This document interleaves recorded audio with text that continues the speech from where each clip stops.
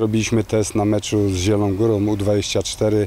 Kibice byli szczęśliwi. To, co zapowiadałem, że rozdzielczość jest kilkukrotnie lepsza od starych, bo w zasadzie pięciokrotnie sprawdziło się.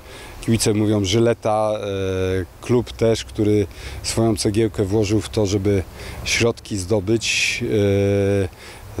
Też e, nie może się nadziwić, jakiej to jakości dobrej wyszło, bo każdy myślał, że e, Osir kupi coś i wszyscy będą narzekać. My jak coś robimy, to dobrze.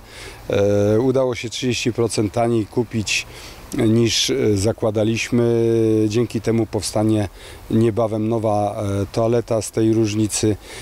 No a cóż, rozdzielczość to jest najnowsza technologia, momentami Full HD, jak telewizor nasz domowy. e, No i ma tam mnóstwo funkcji, e, które są nam potrzebne do transmisji żużlowej. Możemy tam robić różne inne eventy. No w każdym razie pieniądze nie zostały wydane e, na marne. 15 lat pracy w tym zawodzie e, powoduje, że wiem jakie są mankamenty różnych sytuacji, różnych e, sprzętów. To jest trzeci telebim, który kupowaliśmy, w zasadzie drugi można powiedzieć, taki poważny. E, No i ta specyfikacja pochłonęła parę godzin myślenia. Oczywiście fachowcy w tym też brali udział, ale oni mieli dopisać to, co ja chciałem sobie wymarzyć. Będzie można zobaczyć e, bardzo dobrą jakość e, tych telebimów. E, Będzie można zobaczyć, jak się prezentuje wynik biegu 5.1 na, na tych telebimach.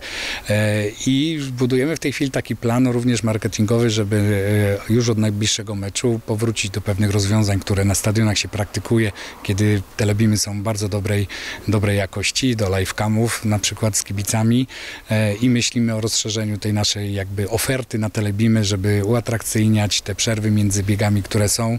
Zapraszamy, będzie naprawdę poza widowiskiem sportowym, mamy coś nowego.